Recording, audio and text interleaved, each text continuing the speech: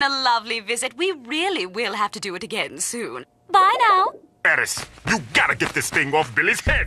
It's driving us crazy. We're sorry. If you read the fine print, you'd see that Frosted Golden Apple Scraps Incorporated is in no way accountable for damages sustained as a result of its cereal products. In fact, Oh, come on, Eris. We both know that's a crock of chocolate pudding.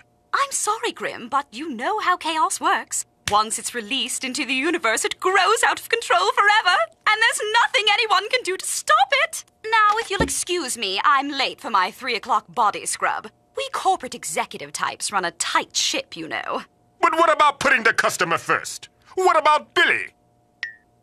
I'm sorry, Grim. It's nothing personal. Thud will show you to the door. He's. Thud! Thud, what are you doing? Having some cereal? And what did I say about having some cereal in the boardroom? Ah, Thud! No, wait, I. No! No!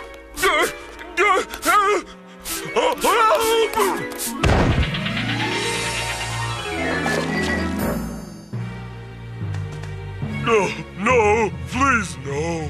Hey, Eris. What? You got a piece of food stuck in your teeth. No, I don't. You do now. What in the.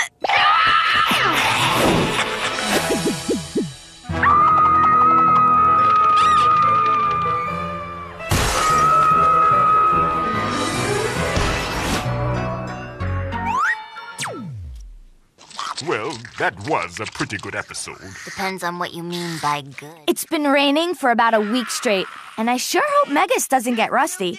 I wonder if his insurance would cover that.